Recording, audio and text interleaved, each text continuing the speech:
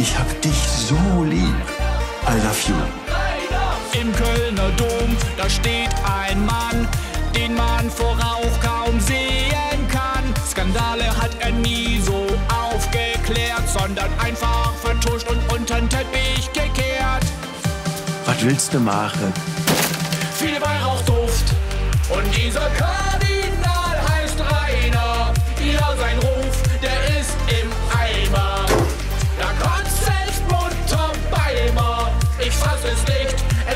Tut ihn keiner. No.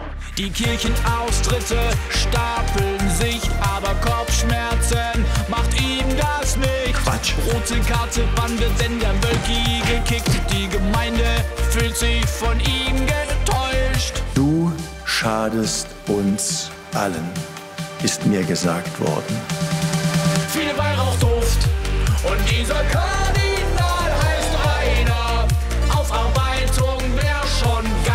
Alles Käse. Er ist leider ein Scheinheiliger und an Reform glaubt hier wirklich keiner.